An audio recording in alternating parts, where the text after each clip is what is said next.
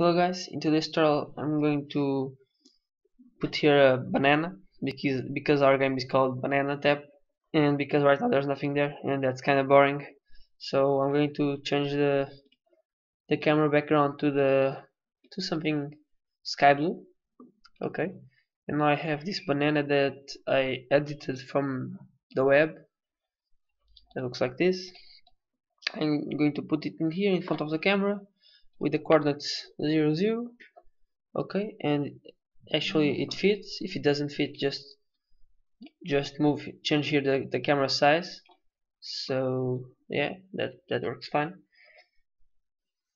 And because a still banana has no is no fun we're, you're going to hit, we're going to animate it. So let's go into the the animation window. Just go into windows animation if you don't have it there anyways click on the banana. And let's create here an animation. So this will be the default animation. Default. Default banana. Okay. And I'm going to put here the scene view. Okay and and now we can animate because this button is pressed is being is toggled on we can actually everything that we change here will change there. So this animation will be a simple one. We want the banana to oscillate. So for example at 0 it will be with minus 3 on the z on the z rotation. Then like at half a second it will go to 3 in the oscillation. And at 3 at, at, and that's after one second it will go back to minus 3 and this will let it oscillate. So okay. So click back there to stop stop animating. Okay. And now let's hit play and see what happened see how it, how it went. Okay. That seems cool. This will be the default animation for the banana. And I want to make an animation of the banana expanding and compressing really quickly to when we tap the screen. So banana expand. Okay. In this banana expand we're going to do exactly the same exactly the same thing. Click on here to toggle the animation thing. Then in the scale this will be a lot quicker so let's let's zoom in a bit because we want this to have very to happen really quickly. And it will start just change this so that that changes okay? Since that that keyframe has appeared want it to be one at, at, at one in the beginning so then after some time it will scale like 1.1 and just change its y and x because this is a 2d image and then it will go back to 1 and 1 okay let's see how quickly this happens. Okay this is happening in a weird way because there are some animations to the right. So okay this keyframe isn't supposed to be here. Delete it? And let's see now it's a bit too quick but that's it. So I put here this. Okay and now? Okay now it's a bit too slow. Okay like this will be fine. Okay so click here to stop animating and with that done now in the animator we have these two animations the ban default banana and the banana expand. And what we want to do is to go from this to this. When the taps when the when the screen is tapped. And if you don't know much about the animator and the animations and stuff like that just go see some tutorials at Unity. I'll link some below if you don't if you need it.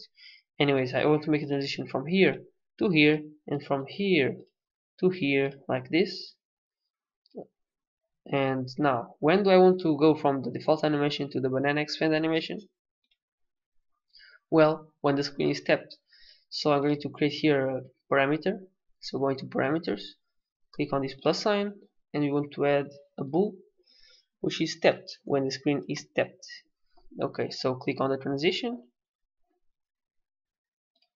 Okay and here we want to add a condition when the tap when the screen is tapped this is true. Okay that's done. And then it will when when this animation exits it will go back to the to the default to the default banana animation okay so now we have to script to make a script to tell us that tapped will be true. So remember that in the last tutorial we had this script on this other game object. Well, now we can delete it and we're going to put the script, that very same script, in the banana. Okay, now it's in the banana and let's open that script. Okay, so here what we're, what we're going to do is to access the animator component, which is this one. If there's, I'll also link a tutorial about accessing other components in the description. Anyways, we want to access it every time a touch is detected. So if a touch is being detected, what we're going to do is access this game object's uh, animator. So this dot get component, and this is just how get component works get component animator like that and we want to set the bool this is a function from it set the bool and we name that bool tapped. So we want tapped to be equal to true. And of course now we also need a, a way that to tapped be equal to false again. So I'm going to create here a function that is never called through the code. So public void tapped false. And this function will be called in the actually through the animation. I'm going to show you how to do that in a second so okay whenever this function is called tapped is equals false again. And this tapped if you don't remember is this tapped over here.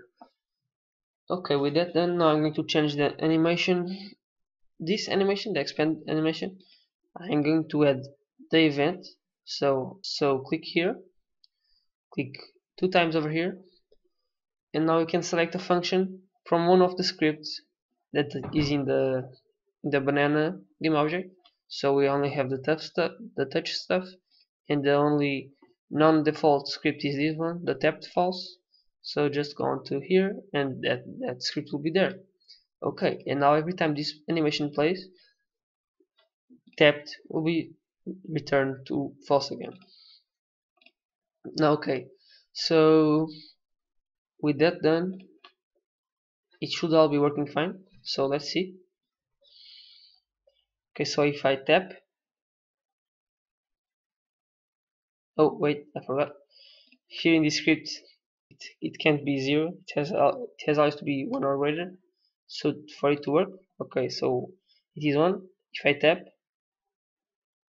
okay as you can see it is working but it's kind of funky. So we're going to make it better.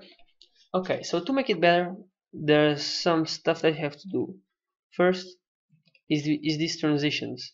As you can see they go like smoothly go from one animation to another and you don't want that. You want it to go like bam.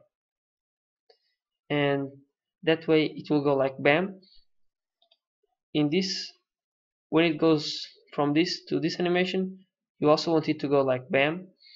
So I think doing this will solve it. Okay. Like so so like that and finally on the transition from default to the banana expand we want to make has exit time false.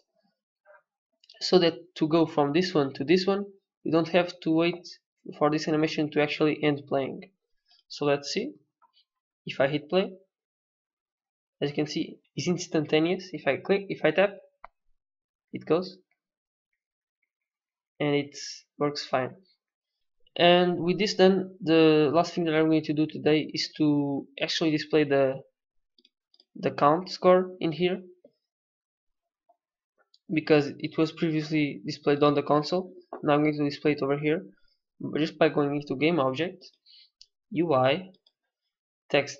Today I'm not going to talk uh, too much about this text. And how can it be edited and pivoted and placed correctly in every screen I'm just going to put it here and do that. But I'll talk about talk more about uh, this UI stuff in another tutorial. Anyways put here public text. As you can see it doesn't find it because we have to put here using. This is something just that I discovered it has to be like this. I don't really know why. So uh, using UI public now it appears public text and you want to name this score. Okay now we have a, a score text. And if I go into Unity if I click on the script on the banana there's an empty field for that public variable. And all I have to do is to drag the text that we just created into there and this will associate this component from this text game object to our script and now we can actually change it so here we can actually in the up after the so here after the loop we can here we can make score dot text. And by this we're, we're accessing this text parameter of this text script. Score dot text equals i which is the the count of taps and we want to convert it to string like this. Okay so now this game this text should display the number the number of taps. Okay if I tap it goes to 1 and so on and so forth. As you can see it's working pretty fine. And for today's tutorial that's it. Thank you for watching and see you in the next tutorial